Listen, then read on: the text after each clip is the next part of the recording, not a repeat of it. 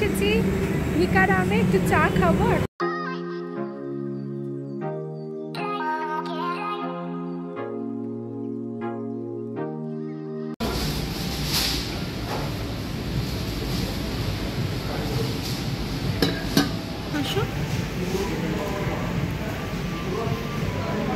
এখন আমরা খেয়ে নিচ্ছি দুজনে দু কাপ চা আর তার সাথে বিস্কিট। মানে বিস্কিটের তো প্যাকেটটা কিনলাম দেখিয়ে দিচ্ছি কী কী কিনলাম। এই অরেঞ্জ বিস্কিটটা কিনলাম এক প্যাকেট। এগুলো সব বাই ওয়ান গেট ওয়ান ছিল তাই একশো চল্লিশ টাকা না একশো পঞ্চাশ টাকা নিল দু প্যাকেট বিস্কিট। আর ওটা ছিল ওট বিস্কিট আর তার সাথে এই মুখশুদ্ধি টাইপ আর তার সাথে নিয়েছি কিন্তু বেসনের লাড্ডু এক প্যাকেট।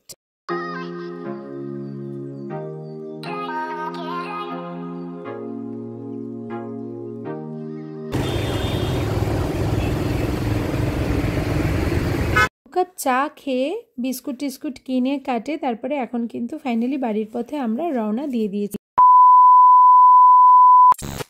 নেক্সট ডে এখন আমরা এসেছি হচ্ছে বিকেলবেলা একটু চা খেতে আর ওইদিকে পেছনে চিনি বসে রয়েছে আর এই যে সৌমেন আর ওই যে মামা একটু মুখটা বাড়াও।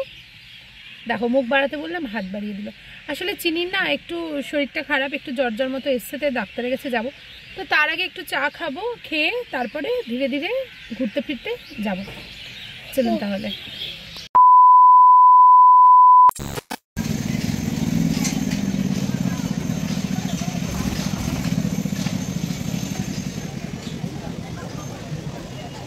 এখন আমরা এসেছি কিন্তু সুভাষ মেলাতে। চিনিকে আজকে ডাক্তার দেখাবো, নিয়ে যাব। তো তার আগে একটু মেলায় ঘুরে নিচ্ছি। কাকুর কাকুরগাছিতেই মেলাটা বসেছে। এর কাছাকাছি ডাক্তারের চেম্বারটা। তো চলুন মেলাটা একটু ঘুরে দেখা যাক, আর একটু টুকটাকে ঘুরবো শুধু। শুকনো শুকনো ফুচকা খাই হ্যাঁ? শুকনো শুকনো ফুচকা খাই। তুমিও খাও একটা। কত করে? দিন।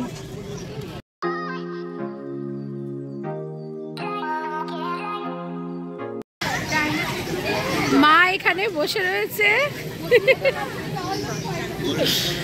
আর চিনি একের পর এক, যেটা পাচ্ছে, যেখানে যা দেখছে, সব কিনে নিচ্ছে। মেলায় আসলে তো ফুচকা, পাপড়ি চাট এগুলো খেতেই হয়, তাই না? চিনি আবার কি একটা চকলেট দেওয়া পাপড়ি চাট নিল? তো যাই হোক ফুচকা, পাপড়ি চাট খেলাম, মায়ের আজকে একাদশী, তাই মা কিন্তু শুধু একটু ওর এই ফ্রুট জুসগুলো হয় না, ওখানটাতে ছিল অরেঞ্জ জুস সেটাই খেলো। অরেঞ্জ মকটেল যাকে বলে। তো সেখান থেকে তারপরে এবার আমরা কিন্তু বাড়ির পথে রওনা দিলাম। ও হ্যাঁ তার সাথে কিন্তু চা খেয়েছি আমরা। তো মেলাটা পুরোটা ঘুরতে ঘুরতে চলুন, আর এই মেলাটার নাম হলো সুভাষ মেলা। আর এটা হচ্ছে সুভাষ পার্ক হ্যাঁ? এটাকে আমরা বড় পার্কও বলি যে, যদিও আর কি। এটা কাকুরগাছিতে আছে। আর এই হলো নেতাজি সুভাষচন্দ্র বোস, যার অনারে কিন্তু এই মেলাটা করা হয়েছে। আর এটা হচ্ছে মেলার আরেকটা বেরোনোর গেট। এই মেলার কিন্তু অনেকগুলো ঢোকার আর বেরোনোর গেট আছে। আমরা বেশিরভাগ সময় এই গেটটা দিয়েই বেরোই, কারণ এটার সামনেই আমরা বাইক বা গাড়ি যেটা নিয়ে যখন আসি, সেটা কিন্তু পার্ক করার সুবিধা আছে। তো চলুন পুরো মেলাটা ঘুরতে ঘুরতে কিন্তু এবার ধীরে ধীরে বাড়ির পথে না, বাড়ির পথে না, এখন যাব ডাক্তারের চেম্বারে। একবার একটু দেখিয়ে নিই। অ্যান্টিবায়োটিক্স যদি দেয় তো সেটা স্টার্ট করে দিলে তাড়াতাড়ি বাচ্চাটা আমার সুস্থ হয়ে যাবে। চলুন তাহলে বাড়ি যাও আই মিন ডাক্তারের কাছে যাওয়া যাক। মেলাটা একটু ঘুরতে ঘুরতে আপনাদেরকেও দেখিয়ে দিচ্ছি। একটু দেখে নিন তাহলে।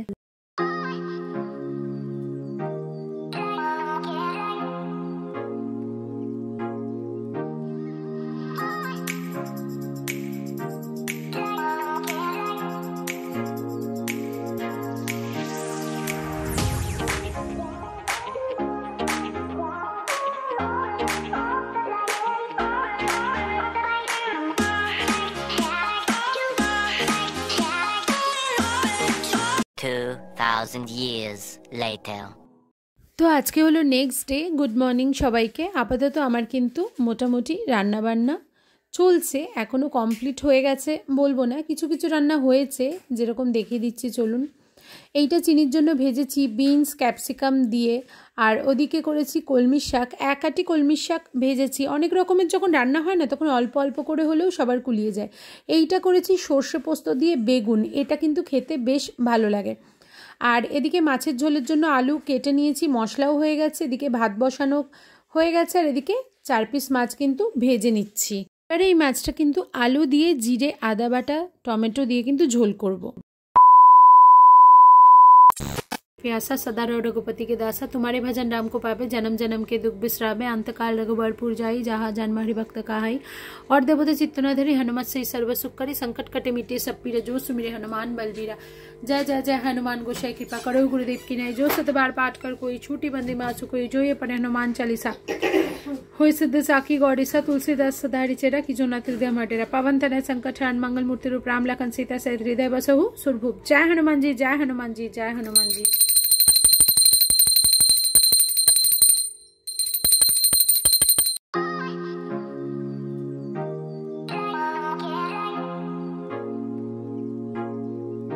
হে কৃষ্ণ করুণা সিন্ধু দীন ও বন্ধু জগৎপতে গোপেশ গোপিকা কান্ত রাধা কান্ত নমস্তুতে। ওং নমো ভগবতে বাসুদেবায় নমো ওং নমো ভগবতে বাসুদেবায় নমো ওং নমো ভগবতে বাসুদেবায় নমো।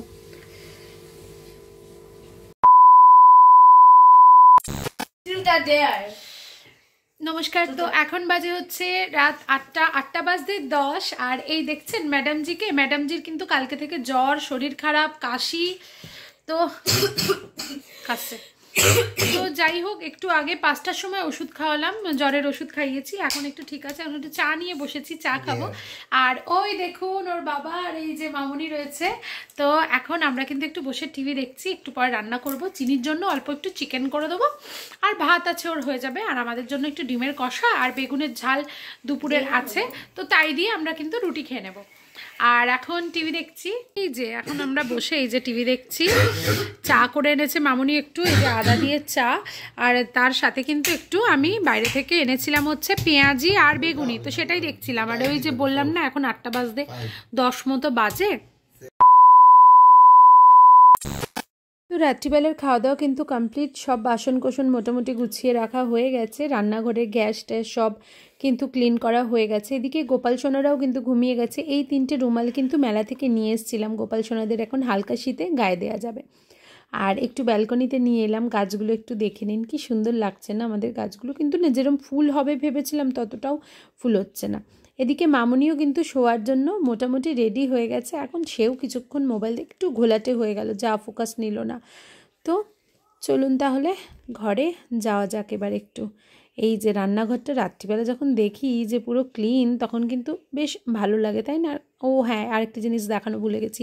এই যে টিকলুর রাত্রিবেলার কিন্তু জায়গা রেডিওকে রাত্রে খাঁচা রাখা হয়। আর এই যে আমাদের মাছেরা অ্যাকোয়ারিয়ামের সব মাছেরা, ওদেরকেও গুড নাইট বলে দিলাম এবার। এবার চলুন, যাওয়া যাক ওই ঘরে। এই ভিডিওটা কিন্তু সৌমেন করে দিচ্ছিল। আমি ওকে বললাম, একটু ভিডিওটা করে এসো। রাত্রিবেলার কাজকর্মগুলো যখন হয়ে গেছে, আর এদিকে চিনি বসে বসে কিন্তু আমার চুলে তেল দিয়ে দিচ্ছে। শরীর খারাপের জন্য তো মেয়েটা সারাদিন প্রায় শুয়েই ছিল, ওরও ভালো লাগছিল না, তো ও চুলে তেল দেওয়াটা খুব ভালোবাসে। তাই বললাম, চল একটু দিয়েই দে। আর টিকলুকে দেখুন মানে একটু বসে থাকতে দেখলে হলো, আমি ও দিদি, পাপা যে বসে থাকবে, লাফিয়ে তার কোলের মধ্যে চলে আসবে।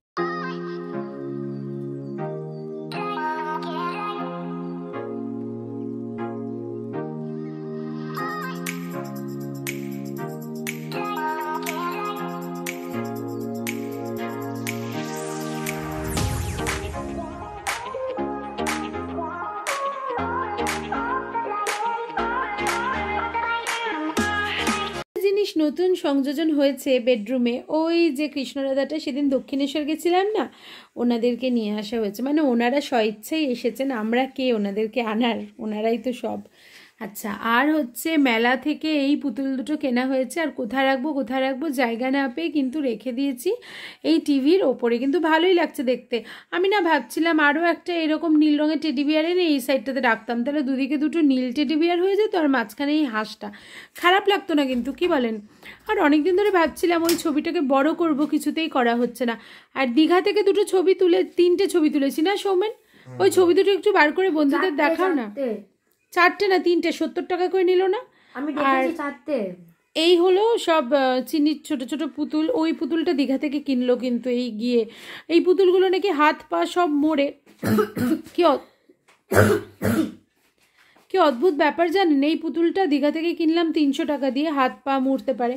আর ওই পুতুলটা আমি অ্যামাজন থেকে অর্ডার দিয়েছিলাম কিন্তু ছশো টাকা ছশো টাকারও বেশি প্রায় সাড়ে ছশো টাকা মানে ডবল প্রায় দাম নিয়েছিল জানেন তো? তাই আমি দেখছি অনলাইনের থেকে আবার অনেক সময় অফলাইনে কম দাম পড়ে।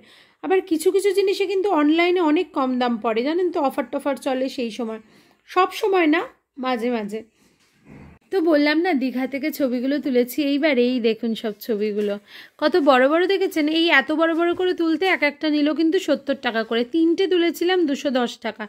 একটা তুলেছি আমরা তিনজন একসাথে, এই যে। আর এইটা হচ্ছে আমরা দুজনে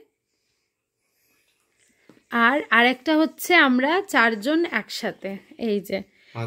পাঁচজন। হ্যাঁ সরি এইটাতে আমরা পাঁচজন একসাথে রয়েছি কিন্তু। এই ফটোগুলো আমার একটু বাঁধানোর খুব ইচ্ছে আছে তবে ওই যাব যাব করে কিন্তু যাওয়াই হয় না। দীঘাতে ওই ফটোগুলো ওরা তোলে তো তুলে তারপরে হোটেলটা জেনে নেয় রুম নাম্বার জেনে নেয় হোটেলে গিয়ে দিয়ে আসে। এইরকম একটা খামে করে দিয়ে আসে আর তখনই ওদেরকে কিন্তু টাকাটা দিতে হয় জানেন তো?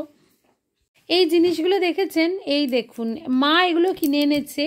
এইগুলো কিনেছে হচ্ছে, দাঁড়ান, এইভাবে করে দেখায় নাহলে বুঝতে পারবেন না। এই দুটো পলা, এগুলো একটু ছোট সাইজের, আর এই দুটো পলা, এগুলো হচ্ছে একটু বড় সাইজের। এটা হচ্ছে পুরো সেই টকটকে লাল রঙটা হয় না? এটা লাল রঙের। আর এইটা হলো একটু মেরুন ঘেঁষার রঙটা আর এগুলো কোথা থেকে কিনেছে জানেন তো? দোকানটার নামটা মনে পড়ছে না। কি দোকান একটু দেখো তো নামটা কি? গোল্ড। হ্যাঁ অশ্বিনী গোল্ড। এইটা হচ্ছে কোথায় বলুন তো? নবদ্বীপে। আর এইটা আমার মা দেখেছে কিন্তু সাধন সাথীর ব্লগ থেকে হ্যাঁ? সাধন সাথীর ব্লগে দেখিয়েছিল না দেড় হাজার টাকা করে পলা? তো তাই দেখে মা কৃষ্ণনগরে গেছিল। আমাদের তো বাড়ি কৃষ্ণনগরে জানেনি আমার বাপের মা কৃষ্ণনগরে গেছিল, সেখান থেকে নবদ্বীপ গিয়ে এই অশ্বিনী গোল্ড থেকে কিন্তু এই পলাগুলো এনেছে। তাহলে সাধন সাথীর ব্লগ দেখে, সাথীদের প্রমোশন দেখেই কিন্তু এই বালাটা আমরা কিনেছি। ঠিক আছে? কেমন হয়েছে একটু বলবেন? আমি হাতে পরে একটা একটু দেখিয়ে দিচ্ছি। ঠিক আছে? কেমন লাগে? এটা এমন বড় যে আমার হাতে কিন্তু দেখুন, এরকম এমনিভাবেই আর যতই সরু হোক, যাই হোক না কেন, এটা কিন্তু সোনা রয়েছে, তাই না?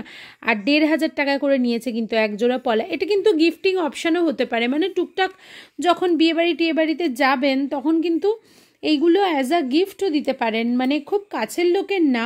অনেক সময় হয় না, দূরের কোনো বিয়েবাড়ি পেলেন, আত্মীয় স্বজন বা হচ্ছে আপনার বন্ধু বান্ধব এগুলো কিন্তু দিতেই পারেন। খারাপ অপশান না কিন্তু গিফটিং হিসেবে।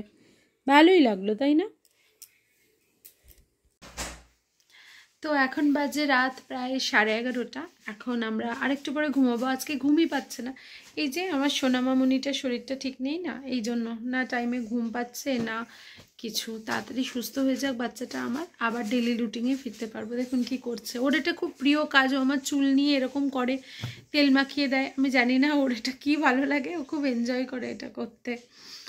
আর কি কাশি হয়েছে বাচ্চাটার?